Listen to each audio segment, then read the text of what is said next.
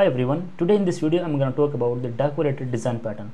This decorator design pattern comes under the structural design pattern and this is very useful and very important for most of the scenarios. As per this design pattern we will have one object and we will add so many functionalities at the runtime without changing the behavior of the actual class. So this technical definition won't make much sense as of now. First let's focus on the main concept, what problem it will solve let's focus on one example and then we will talk about all these things. For example here i want to develop a text editor application. In that text editor i will have some text and then i will add some more decorations on that text. For example i will have a text which is hello world. On that hello world i want to add a functionality like the bold. So if i'm using this bold feature then i will have bold hello text. On that bold if i want to have italic then i can have this uh, i tag then the bold and then the actual text so if i want to have underscore then maybe i will have more. So in that scenario there will be a number of decorations over here. And the main actual object is that plain text. So that hello world is a main object. On that object we can have these decorators and we can have these decorators in any order. So if i want to maintain the order and based on that i need to implement any logic then i can use this decorator design pattern. But first let's understand what will happen if i'm not using this decorator design pattern and I'm using the basic one. So in that case, we can start our implementation by using one interface and this interface is going to be itext. Inside this itext, there could be one method which is render. So there will be one class which is the plain text. Then we will have this bold text. Then we will have this italic text. So I can have three classes and all these three classes will inherit this itext interface. Now so far everything is fine. But for example, if I want to add more features, so it could be plain text then i can have bold plus plain bold plus italic. If i want to have those combinations also and because the order matters a lot so i have to create my class for each specific combination so in that scenario you will see that we will have so many classes.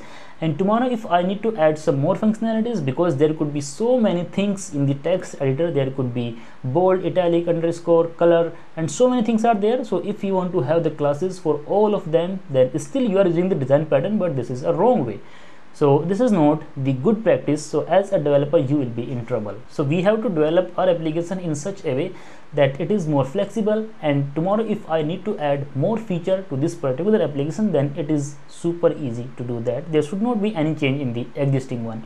Okay.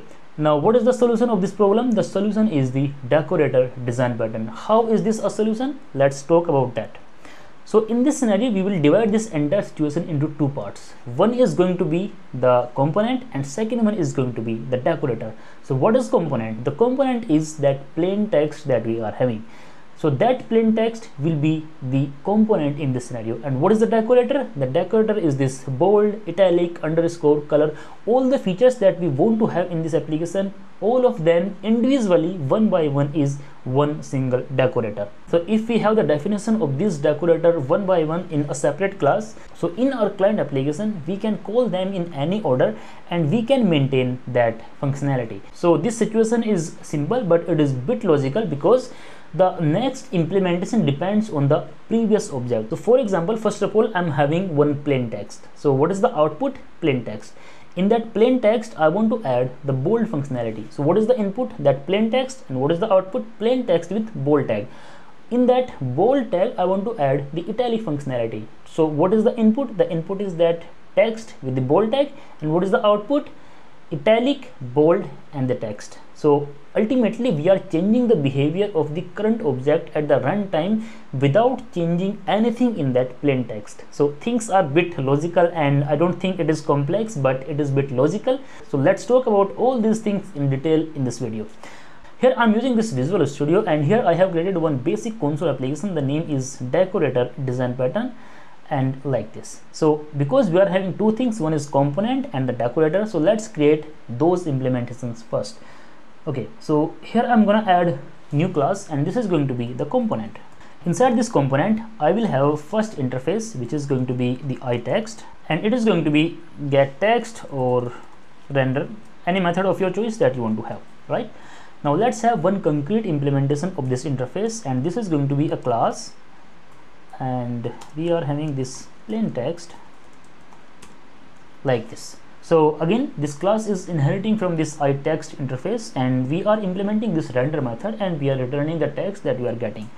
So but because we can use the primary constructor so there is no need of using this constructor. So let's fix it. So here i'm writing this history and text like that. You can remove everything from here like this and we can return the simple text that we are receiving in this constructor parameter like this. So so far everything is fine our component is done because now we are focusing only on one single component at this place. Now let's focus on our decorators. Okay so i'm going to create one more class over here and the name is going to be the decorator. So here i'm going to create first one class basically a wrapper on this implementation that we are having right now so for that i'm going to create a new abstract class and it is going to be decorator i'm going to inherit it from the itext interface this interface that we have created because we have to match the signature. So i will implement this string render method over here and let's use the primary constructor also over here. So i'll be using it like this. I can remove these things. So let's implement this method. And here i will be using the virtual keyword because there will be some more decorators they will implement this method and they can override this method also. So here i'm going to return what i will return text dot render. So what is this? So this text is basically the type of this i text and whatever type we are getting for example as of now we have only this plain text. So we will get the object of this plain text over here and we are calling the method of our base class because we are passing the instance of this plain text and this one has this render method. So ultimately with this text dot render we are calling this method. And here we have written this plain text so ultimately we will get the same method. This method is not doing anything else. This is just a wrapper. Now let's add our first decorator and this is going to be this bold decorator. So in this bold we are inheriting it from our this wrapper this decorator and we are expecting that again someone will pass the i text type over here because we have one plain text. So someone will pass that instance over here and we will pass the same one in our decorator base class. We have this render method over here. And just notice over here that in this render method implementation we are calling first this base dot render. So ultimately this base dot render will call this wrapper. Inside this wrapper we are calling again this method. So ultimately what we will get? The plain text. And on that plain text we are wrapping this bold tag at this place. Now let's create one more decorator. So for example this italic the implementation is similar but what is the difference? The difference is that here we are adding the functionality specific to this decorator. So let's use one more over here decorator and this is going to be the underscore decorator. And now let's run this application. So first i'm going to create a new plain text. And on that plain text what will happen if i'm calling this text render? Let's run this application and see what is happening. At this place you can notice that we are getting the same plain text which is hello world okay now let's call one decorator on this text and you can call that in any order. For example i'm calling this bold decorator first and now i'm gonna render the implementation now. So let's run this application and see what will happen this time. So here you will notice because we are having this console application after each line so first we are having this plain text and then we are having the bold tag around this hello world. Okay now let's use the italic also and now let's display the message at this place similarly we will use the underscore and let's display that message also. So let's run this application again and see this time what will happen. So the message is obvious. First we are getting this plain text. Then we are having this bold. Then this bold is wrapped around this italic. And then this italic is wrapped around the u so this is how you can use this text editor and you can add all your concrete implementations and all your decorators at the runtime. So now in future if i want to add one more decorator for example the color so what i can do inside this decorator i can create one more class with name color.